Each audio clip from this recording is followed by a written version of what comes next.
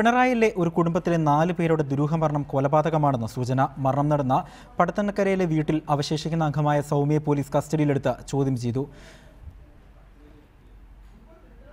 രണ്ടായിരത്തി പന്ത്രണ്ട് സെപ്റ്റംബർ ഒൻപതിന് ഒരു വയസ്സുകാരിയായ കീർത്തന. ഈ വർഷം ജനുവരി ഇരുപത്തൊന്നിന് ഒൻപത് വയസ്സുകാരിയായ ഐശ്വര്യ. മാർച്ച് ഏഴിന് വീട്ടമ്മയായ അറുപത്തെട്ടുകാരി കമല. ഏപ്രിൽ പതിമൂന്നിന് കമലയുടെ ഭർത്താവ് എഴുപത്തെട്ട് വയസ്സുള്ള കുഞ്ഞിക്കണ്ണൻ. എല്ലാവരും മരിച്ചത് വയറുവേദനയും ഛർദിയും അനുഭവപ്പെട്ടതിന് പിന്നാലെ.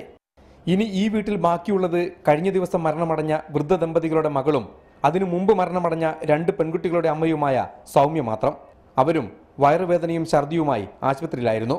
അതിനിടെ ഒന്നിനു പിറകെ ഒന്നായുള്ള മരണത്തിൽ ദുരൂഹത പടർന്നതോടെ അന്വേഷണം ആരംഭിച്ചു. കിണർ വെള്ളത്തിലെ വിഷാംശവും അണുബാധയുമായിരുന്നു സംശയം. എന്നാൽ പരിശോധനയിൽ ഇതിലൊന്നും അസ്വാഭാവികതയില്ലെന്ന് വ്യക്തമായി. ഇതിനുശേഷമാണ് ഈ വർഷം ആദ്യം മരണമടഞ്ഞ ഐശ്വര്യയുടെ മൃതദേഹം പോസ്റ്റ്മോർട്ടം നടത്തിയത്. ആന്തരിക അവയവങ്ങളുടെ പരിശോധനയിൽ നിന്നും എലിവിഷത്തിന്റെയും അലൂമിനിയം ഫോസ്ഫേറ്റിന്റെയും അംശം കണ്ടെത്തിയതോടെ മറ്റു രണ്ടുപേരുടെയും മൃതദേഹം പോസ്റ്റ്മോർട്ടം നടത്തി. ഇതിലും നേരത്തെ കണ്ടെത്തിയ അതേ വിഷാംശം അടങ്ങിയിട്ടുണ്ടെന്ന റിപ്പോർട്ട് വന്നതോടെ ദുരൂഹതയേറി. ഇതോടെയാണ് ആശുപത്രിയിൽ കഴിയുന്ന സൗമ്യയെ അന്വേഷണ സംഘം കസ്റ്റഡിയിലെടുത്ത് ചോദ്യം ചെയ്യുന്നത്.